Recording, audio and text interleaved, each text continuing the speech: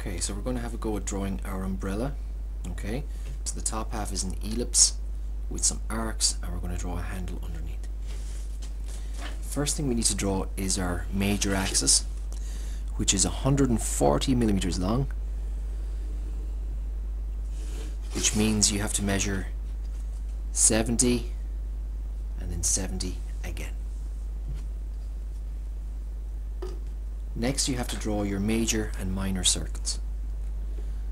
So with your compass on the center point, take half the length of the major axis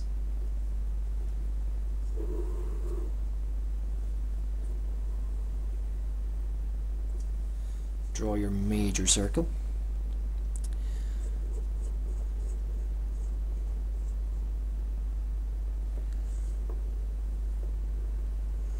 and then your minor circle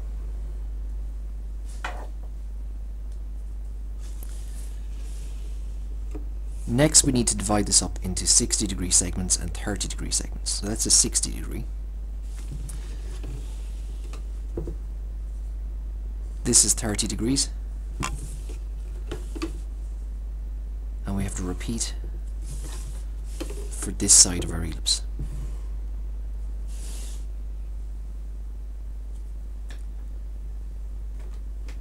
Next we're going to draw some vertical and horizontal lines so that we can find points for our curve. So where our dividing line and our major circle meet, we're going to draw a short vertical line. And in total, we need four of these.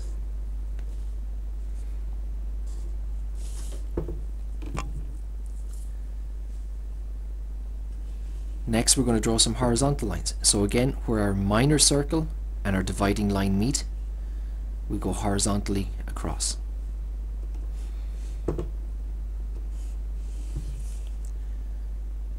And after that we have points on our curve which we can use to draw our ellipse. And our ellipse has to be drawn freehand.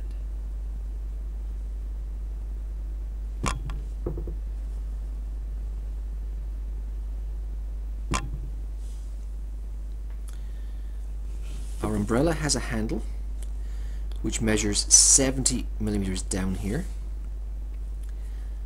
And at the bottom it has a little curve, a little semicircle of radius of 10. So once you've measured down 70 you can measure over 10 and you can use your compass to draw a little semicircle for the bottom for the bottom of our umbrella. I'm just going to go over that again. Finally to finish off we have to draw the arcs at the bottom of our umbrella just to give it that umbrella shape.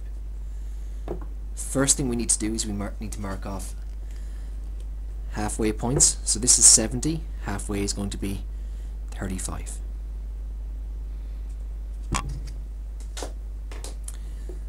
Set your compass to 35. I'm just going to take this measurement. And then from the end point, draw an arc. From the halfway point, draw an arc. And again, there's four arcs, so we have to do this four times.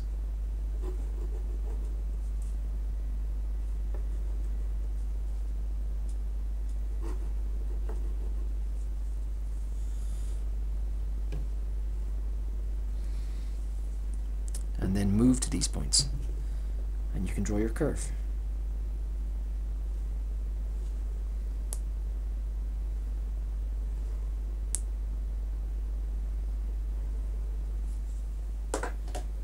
And that